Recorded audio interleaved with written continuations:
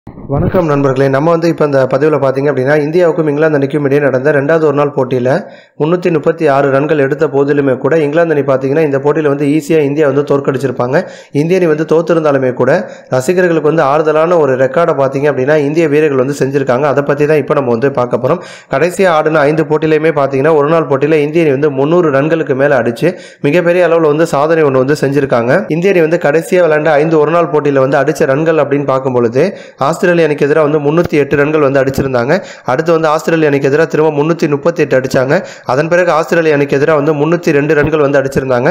இப்போ இங்கிலாந்து அணிக்கு எதிரான முதல் ஒரு நாள் போட்டியில் முந்நூற்றி பதினேழு ரன்கள் வந்து அடிச்சாங்க. இப்போ ரெண்டாவது ஒரு நாள் போட்டியில் வந்து முந்நூற்றி முப்பத்தி ஆறு ரன்கள் வந்து அடிச்சிருக்காங்க. ஸோ கண்டினியூஸாக ஐந்து ஒரு நாள் போட்டியில் வந்து முந்நூறு ரன்களுக்கு மேலே எடுத்து மிகப்பெரிய ஒரு சாதனை வந்து இந்திய அணி வந்து செஞ்சிருக்காங்க. இது வந்து முதன் முறை அப்படின்னு கேட்டிங்கன்னா இது வந்து ரெண்டாவது முறை. இதற்கு முன்னதாக பார்த்தீங்க அப்படின்னா ரெண்டாயிரத்தி பதினேழுலையும் இதே மாதிரி ஒரு சம்பவம் வந்து நடந்துச்சு. அந்த சம்பவத்தில் பார்த்தீங்கன்னா மூணு போட்டியில் வந்து இங்கிலாந்து அணிக்கு எதிராக தான் முந்நூறுக்கு மேலே ரன்கள் வந்து இந்தியா வந்து எடுத்திருப்பாங்க. இப்போ மூணாவது ஒரு நாள் போட்டிக்காக தான் ரசிகர்கள் வந்து ரொம்ப ஆவலாக காத்திருக்காங்க. அந்த போட்டியிலே வந்து முந்நூறு ரன்களுக்கு மேலே இந்திய அணி வந்து எடுத்துட்டாங்க அப்படின்னா ஆறு முறை வந்து கண்டினியூஸாக முந்நூறு ரன்களுக்கு மேலே அடித்து மிகப்பெரிய அளவில் வந்து இன்னொரு சாதனையும் இந்தியா வந்து செஞ்சுருவாங்க. இது போன்ற இன்னும் பல கிரிக்கெட் சம்பந்தமான முக்கிய செய்திகளை வந்து நீங்கள் தெரிஞ்சுக்கணும் அப்படின்னா நம்மளுடைய சேனல் வந்து சப்ஸ்கிரைப் பண்ணுங்கள் நன்றி.